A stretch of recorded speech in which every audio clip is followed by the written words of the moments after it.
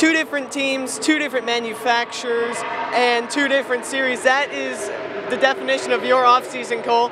Talk about you know this massive transition from Xfinity to uh, from to the Xfinity series from the Truck series. Yeah, it's definitely been crazy, but we have a great team behind me. I think uh, with Stewart-Haas Racing and Ford and Haas Automation, I think we're gonna have a, a, really strong team this year. And it's definitely it's really different to drive these cars compared to a truck. It's uh, something where you have to experience it for the first time to get a real feel for it. But uh, it's it's awesome. I'm excited. I think we're gonna be pretty good.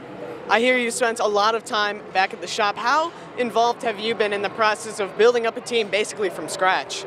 Yeah, I mean, it's been impressive. All these guys, they've worked extremely hard. I mean, staying until 8 o'clock at night and just working their tails off the whole off season. So I've, I've tried to go there every day and try to help a little bit. I mean, I can't, I'm not going to say I did everything, but I definitely, I tried to help a little bit. So it's, uh, it's just, I got to thank all the guys. They definitely did a good job.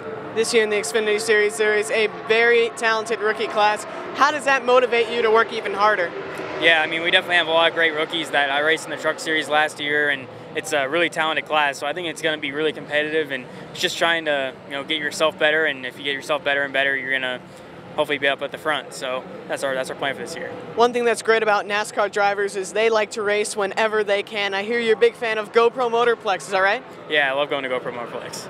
And uh, outside of racing eh, altogether, I hear you're a big fan of uh, wakeboarding. You know, talk about that and spending some time on the water. Yeah, I mean, you just sometimes you just gotta go have some fun on the lake, or maybe go golfing, or whatever. Just get you know get reset a little bit. But it's uh, you know, you always have some fun with your friends sometimes. Yeah. We're going to finish off with a segment we like to call Would You Rather. We're going to give you two options and you have to choose which you would rather do. So, first one Would you rather have an extra hour every day or be able to have one redo every week?